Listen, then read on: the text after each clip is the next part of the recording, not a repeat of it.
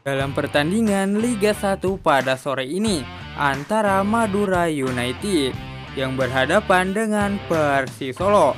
Sementara ini di menit ke-83 keduanya bermain imbang 2-2. Gol dari Madura United semuanya dilesatkan oleh Alberto Gonzalez di menit ke-7 dan 66. Sedangkan gol dari Persis Solo dilesatkan oleh Samsul Arif di menit ke-45 dan Alpat Patir di menit ke-46.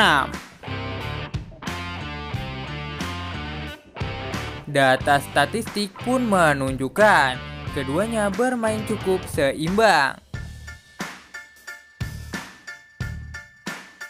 Jika hasil ini bertahan hingga peluit panjang dibunyikan, Madura United akan tertahan di posisi keempat dengan koleksi 38 poin.